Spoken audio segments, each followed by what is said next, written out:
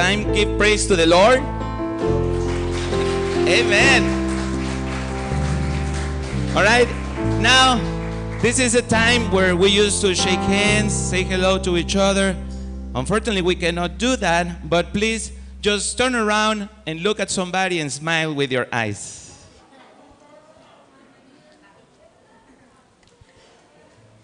You may be seated. Welcome to Cabo Church. What about a big applause for the praise and worship team? They did a very good job today. First of all, I would like to recognize our first time guest. If you are here for the first time, please just raise your hand and tell us where are you from? Seattle, Washington. Welcome.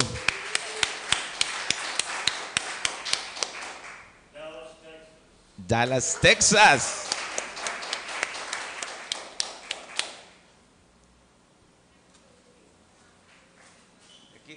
Cabo, from Cabo. Mega eh?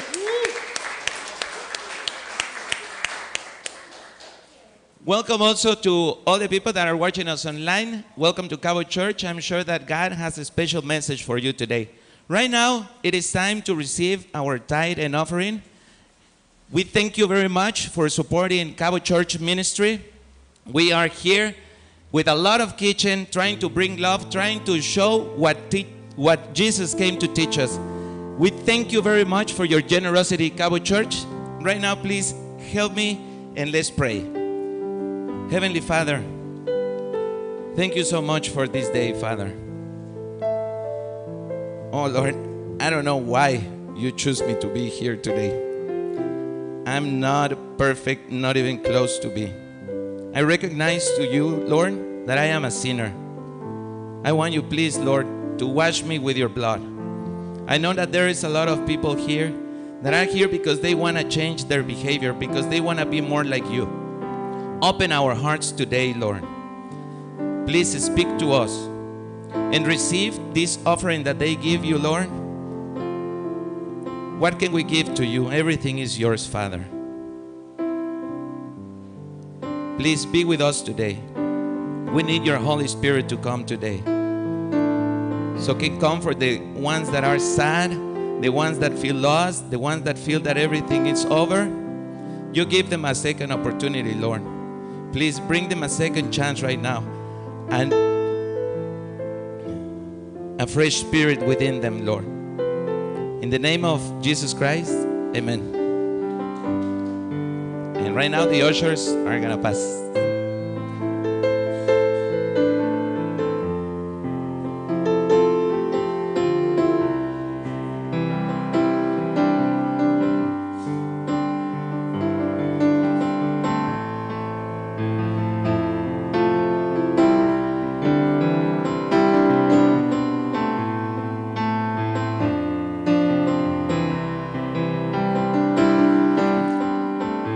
Today is a special day. Pastor Michael is not here with us today, but we have a guest speaker. Um, I know him, he's part of Cabo Church. Uh, and what I can tell you is that every time that I am around him, I feel the Spirit of Lord because he makes me feel comfortable. I know he's a great person, he likes to help. He's amazing, and I think there's nobody more perfect to bring a message today than Jayson Stirrup. Please, everybody, big applause for our dear brother. Gracias, Roberto. So we didn't do a mic check, so we'll start there. Sound booth, does it sound all right? Okay. I don't know if that was a thumbs up or another finger, but we'll, we're going to run with it. Uh, we're going to start with prayer. Father, just thank you so much for being the most important attendee of Cabo Church and our honored guest, Father, each service. Father, I pray that your spirit would be pleased with what happens today and that we would be pricked to our hearts and challenged, Lord. Pray a blessing over each and every one of the individuals that are here and listening. You are doing mighty things here in Cabo San Lucas and all over the globe. In Jesus' name, amen.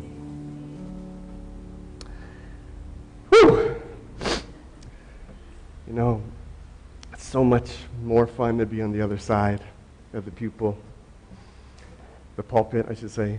And, uh, but we're going to just jump into this. There's a lot of material to cover. Clock is showing 928.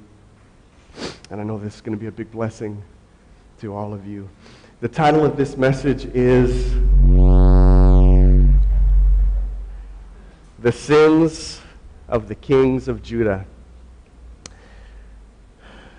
So, in preparation for this message, I was overwhelmed with a burden to feed you this word and for you to take it in and be nourished by it. And there's just so much to this section of the Bible, as there is with every section of the Bible. And my hope is that in listening to this teaching, you'll both be encouraged and challenged to honor God in a higher way, in higher ways than you have become accustomed to. And when Pastor asked me to share you know, I get excited because I'm forced into a situation where I have to listen and dig deeper.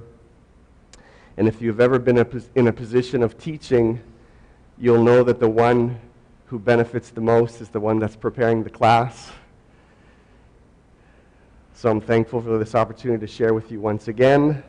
Let's dig into this teaching that is a two part teaching. Part one, entitled The Kings. The first king of Israel was Saul, and he reigned for 40 years. He was followed by his son, King David. Uh, he was followed by, uh, not by his son, he was followed by King David, who also reigned for 40 years. And David so loved the Lord that it was his burning desire to build God a temple in, in, in God's city of Jerusalem. And his desire was to bring God's presence, to be close to Him and to be close to the people.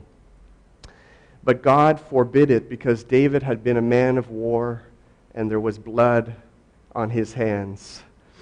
But God promised to David that he would have a son whose name would be Solomon, and it would be Solomon that would build the temple and fulfill David's dream. And near the end of David's life, he began making preparations for the construction of the temple. Just picture this a father at the end of his life. He has this dream that he knows he can't fulfill, and he starts to make preparation to set up his son for success. I think all of us as fathers can identify with David's position. So he began assembling dressed stone, iron, cedar logs, gold, silver, and bronze. And when David's son Solomon was still young and, in, and inexperienced, David sat down with him to charge him with this task. And when David lay to rest, Solomon became king and reigned over Israel for 40 years. A reign of peace and prosperity, for the Lord gave Solomon great, witch, great riches and great wisdom. And under Solomon's reign, Israel completed the construction of this magnificent temple, modeled exactly after the throne, ro- throne room of heaven.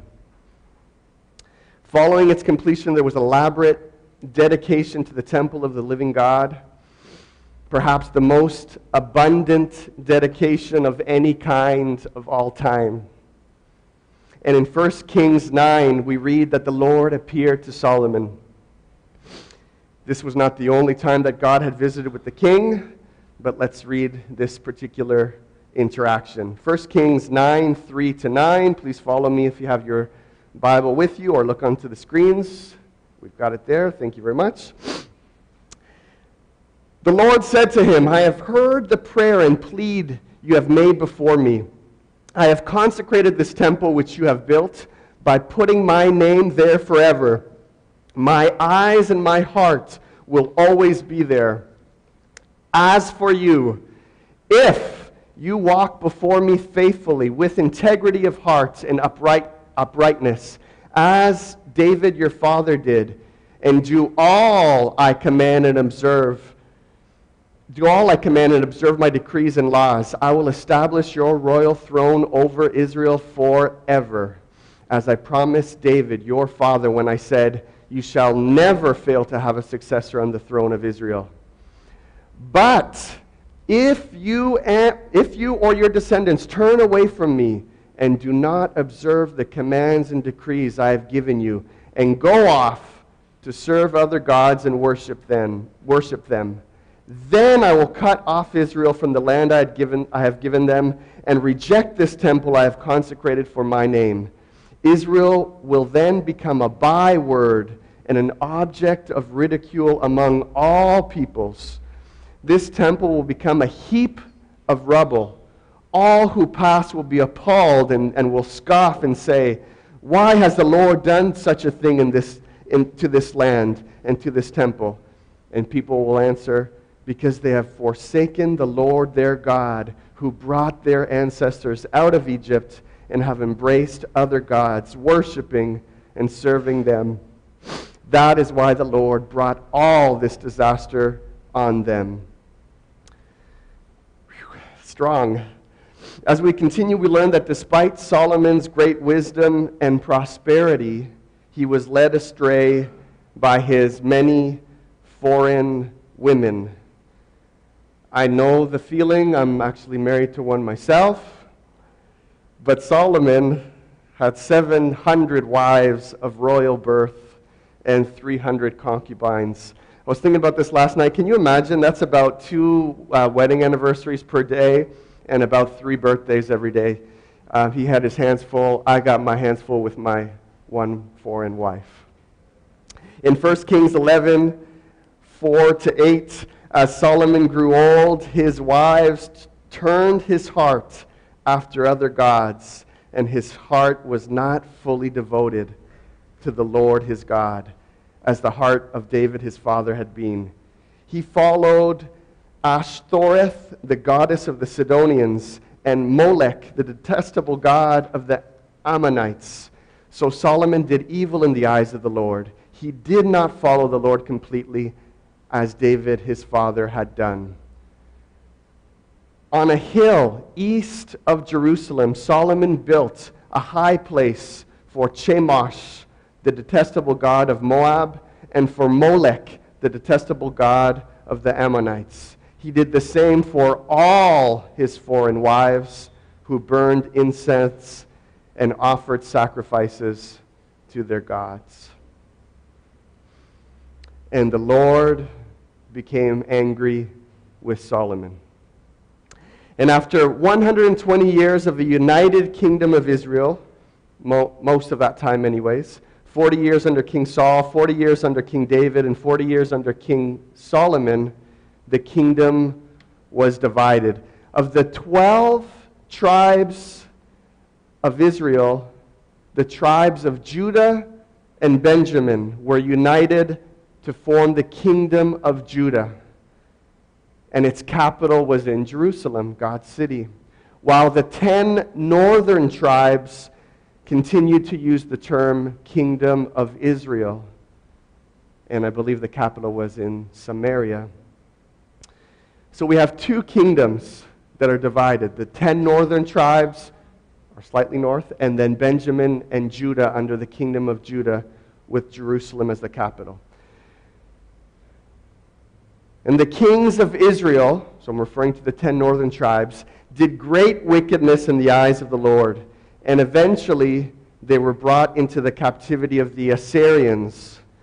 Now, if you don't know much about the Assyrians, um, they, were, they are famous for being really, really good at war, much in part due to their iron weapons, which were much stronger than the copper weapons being used by the surrounding nations. And actually, the Assyrians are still around today. Uh, they, ha- they no longer have a country of their own, but there are an estimated between 2 and 5 million Assyrian descendants worldwide with about half a million living in the United States of America. Ironically enough, the largest con- concentration of the Assyrians in the United States is in the city of Detroit. I guess that may be God's way of paying back, paying back the Assyrians for their destruction of the ten northern tribes. Apart from Stevie Wonder, I'm not a big fan of Detroit. Uh, but interesting twist here the prevailing religion of the Assyrians is Christianity. And I believe one day they will have a nation of their own once again. So while the people of the kingdom of Israel were relocated to Assyria, they became known as the ten lost tribes of Israel. The people of the kingdom of Judah remained, with Jerusalem being the capital.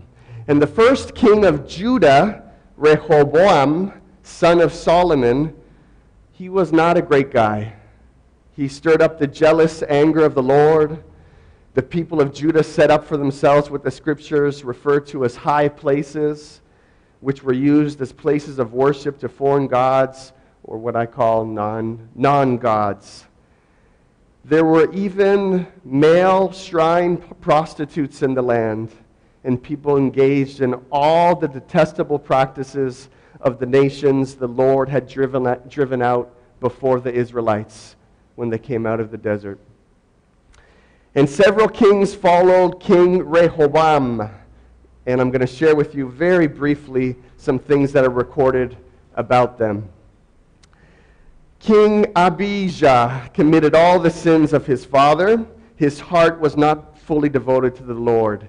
King Asa did what was right in the eyes of the Lord. He expelled the male shrine prostitutes from the land and got rid of all the idols his fathers had made.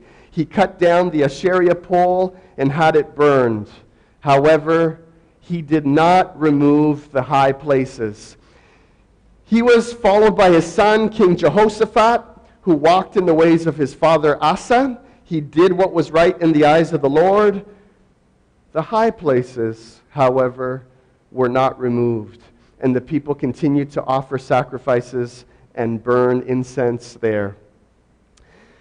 Jehoshaphat was succeeded by his son Jehoram, who did evil in the eyes of the Lord, and then by Ahaziah, who acted similarly. King Joash followed and did what was right in the eyes of the Lord. The high places, however, were not removed.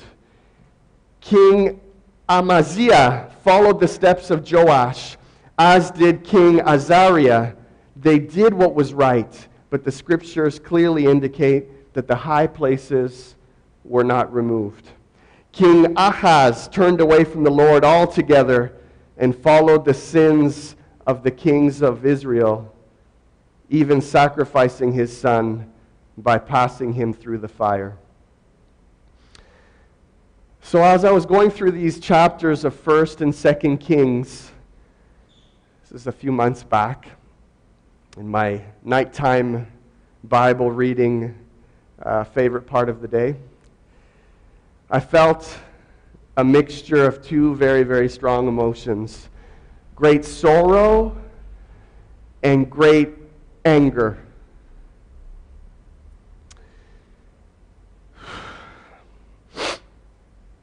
This is supposed to be the remnant of God's holy nation, his chosen people. And the heartbreak of God, as I was going through these pages, is really almost unbearable. And I found my spirit crying out, Lord, is there not even one of the kings of Judah who will walk in your ways? And then I found myself introspective. The high places, hidden places out of sight,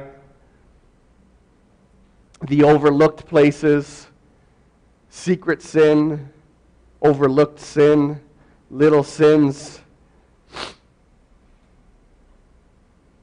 And in my anger, the Lord spoke to my spirit and said, Son, are you so different from the kings of Judah?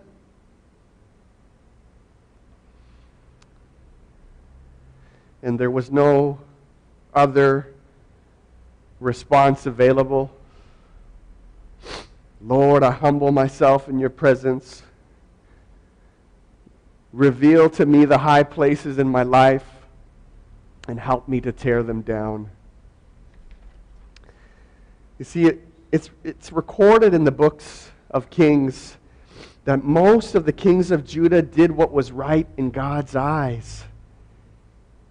But the high places were not removed. He's an all in God. All in God.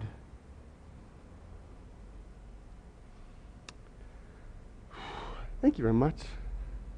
I should probably buy stock in Kleenex.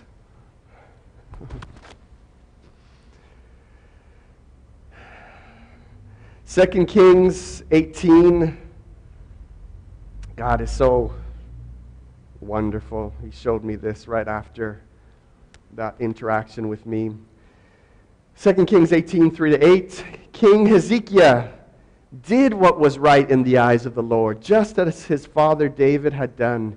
He removed the high places, smashed the sacred stones, and cut down the Asherah, Asherah poles. He broke into pieces the bronze snake Moses had made, for up to that time the Israelites had been burning incense to it. That was not the purpose of the bronze snake.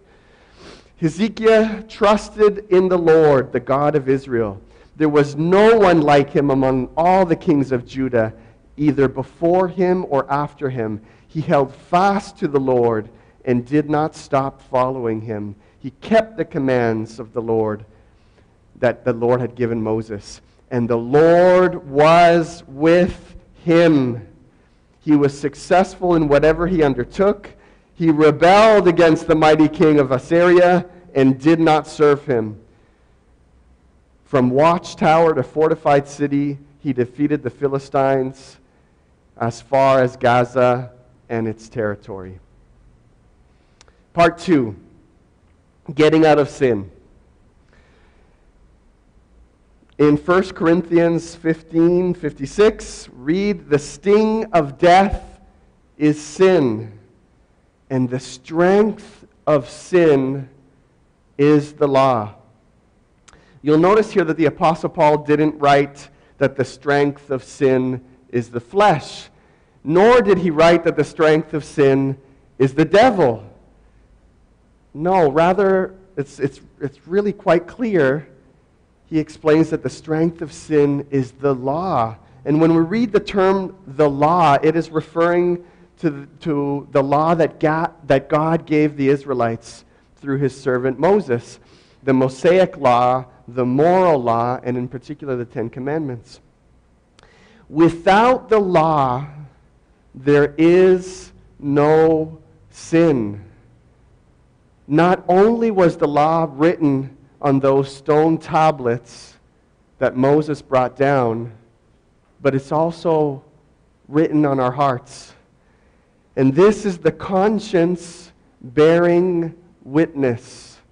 This is a scripture from Romans 2:15. The conscience bearing witness. It's the conscience that tells us what is right and what is wrong. And there may be somebody here that thinks, well, Jayson, if the law is written on my heart, then how come I don't feel that I'm doing anything wrong? And the Bible is very clear about that. It's because your conscience has been seared as with a hot iron. For those that like to barbecue in the summer months, imagine that big, thick, juicy steak being seared on the grill. That's the image that Paul gives to his disciple Timothy, his adopted son, the conscience has been seared as with a hot iron. Your conscience has become accustomed to sin and no longer screams out in defiance. Hebrews 9:27 reads, "It is appointed unto men to die once and then the judgment. What will we be judged by? We will be judged according to the law. And each one will be weighed on the scales of God's utmost justice, and we will each be found wanting or be found lacking. Each man has his own standard of goodness, but all fall short of God's thorough and perfect goodness. The prophet Malachi wrote, Who can endure the day of his coming? And who can stand when he appears? And John, after he was taken up to heaven in this amazing vision, wrote, For the, day, for the great day of his wrath has come, and who is able to stand? I've yet to meet the man who will stand in the presence of God in his own personal righteousness. And the closer I walk with the Lord, the more I realize how very far away I am from his standard. In Romans 3:19 we read, "Now we know that whatever the law says, it says to those who are under the law that every mouth may be stopped and all the world may become guilty before God." That is the true purpose of God's law. It's a mirror that reveals to, our, reveals to us our true state we will all be found guilty before the living God. In Romans 2 5 to 6, but because of your stubbornness and your unrepentant heart, you are storing up wrath against yourself for the day of God's wrath, and his, his righteous judgment will be revealed. God will repay each person according to what they have done. Ladies and gentlemen, these are all almost all scriptures from the New Testament. I want to make that very clear. His wrath is stored up for each of us. God must punish sin. Only a corrupt judge would allow a lawbreaker to get away without a consequence. So, how can anyone escape the eternal consequences of sinning in the eyes of an all holy God. This is the fun part of this message. Enter the good news of the gospel. In God's utmost justice was found his utmost love, in that while we were still sinners, Christ died for us. God sends his Son to receive the punishment of my crimes for your crimes, for the violations of his law. The perfect, the clean, the just takes the consequences of the sins of mankind for the unperfect, the unclean, the imperfect, the unclean, and the unjust. We must see our reflection in the mirror of God's law, recognize our current state, and throw ourselves at the feet of a holy judge. Lord, I see now my present state. I have no defense. Have mercy on me, a hopeless sinner. Mercy God does not give us what we deserve. Grace. God does give to us what we don't deserve, and that is eternity with Him. We are saved by grace and grace alone. God opposes the proud, but gives grace to the humble. Is Leslie still with us? Leslie, let's uh, help me to see if I'm not the only one crying at the end of this. Today is the day of salvation. Humble yourselves, repent, and trust in God's atonement. That is Christ, Jesus, to save you. He, promised, he promises to you a new heart, one that longs for new desires. The law of the Lord becomes a delight in your life, and you desire, your desire is to please Him. For those that are in the faith like me, and many who are listening, there's an ongoing battle between this new heart that God has given us and the old flesh. It's the old flesh that will keep those high places active in your life. And God so beautifully reveals these areas of your life as you are walking with Him. And He calls you to put your house in order so that you may be a holy vessel and enjoy a richer level of intimacy with Him.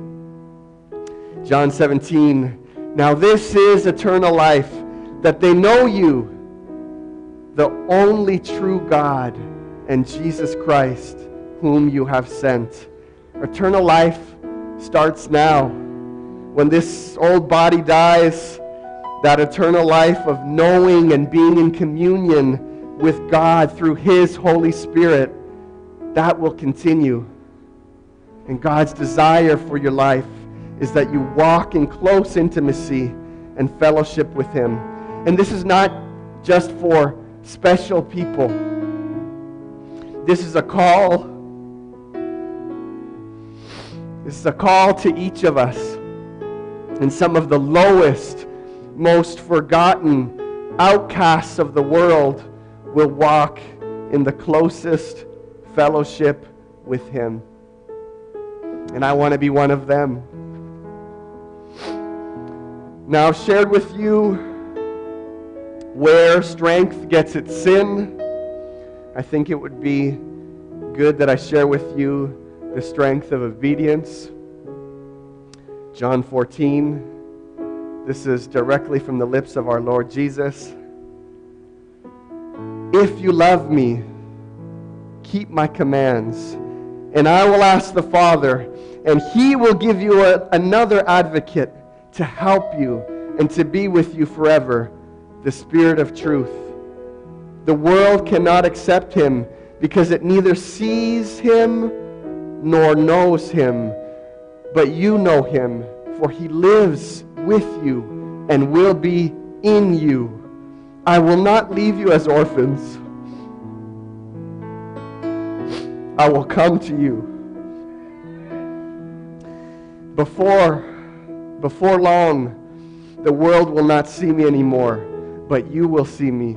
Because I live, you also will live.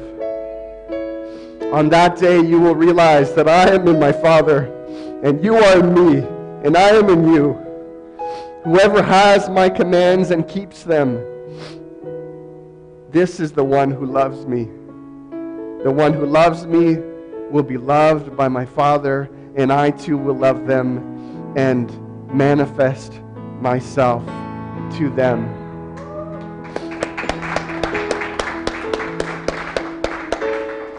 That, that, that word manifest myself to them means coming out of the spiritual realm and into the physical realm. Fall in love with God this love is the strength of obedience. Please stand to your feet with me. If indeed you have been pricked to your heart, humble yourselves before the living God who knows your down sitting and your uprising and every thought from afar. Let's take a moment to turn within and acknowledge that we have fallen short of God's will. Today is the day of salvation in God's extravagant love, He made a way. Repent and place your trust in Jesus. The sacrifice of the Son is more than a sufficient atonement. We come into this world empty handed. Let's leave with our hands held by the Savior. If you would like prayer, please come forward. If you need to leave, Please don't do so quietly. And thank you very much.